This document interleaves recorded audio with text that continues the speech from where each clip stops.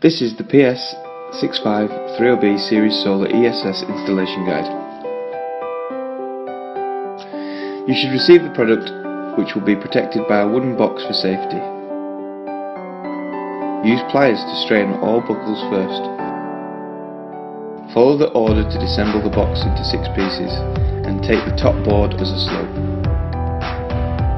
Remove the EPE Expand polythene Draw out wooden bar.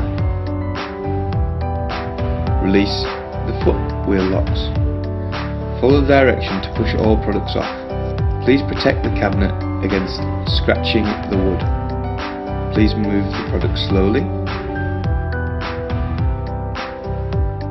Please install the product on flat ground.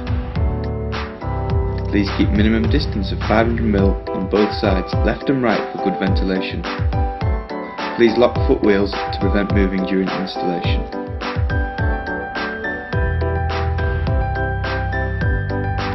Install Wi-Fi communication module and accelerometer if they are included. Note, please use 6mm cable for all connections. Note, please turn off the home grid main switch. Connect the live wire and neutral wire of breaker into L terminal and N terminal of meter respectively. Remove the cover of the wiring connections at the bottom right of the product. Note, please turn off all breakers before any connection. Connect the live wire of the meter and PV inverter AC output together in the P terminal of ESS. Connect the neutral wire of the meter and the PV inverter AC output together in the N terminal of the ESS. Connect the grid ground wire into the left earth terminal of wiring bar.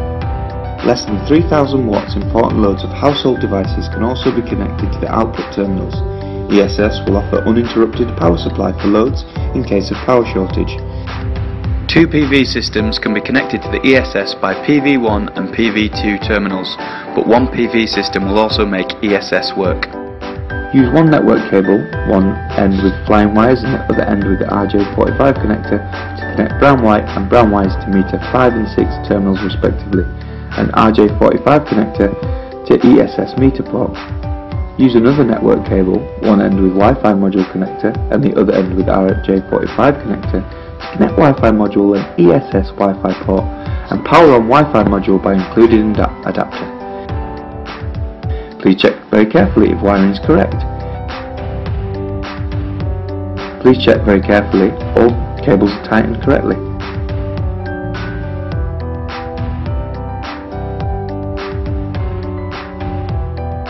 After checking the wiring, turn on grid breaker and ESS battery switch. Press and hold the ESS power on off button to start ESS. The instructions and enter to system info pages.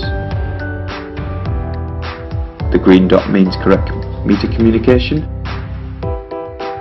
The red dot means otherwise. Please check the meter connections. These frames show the correct Wi-Fi module communication. PWR and link indicators stay lit and the TXD and RXD twinkle alternatively. Until now the installation is almost finished and please put wiring bar cover back on. You can turn on the necessary switches to ESS to power your home. Based on different applications, here are the wiring solutions. If grid-tied inverter is used, ESS needs an accelerometer to build an AC coupled system.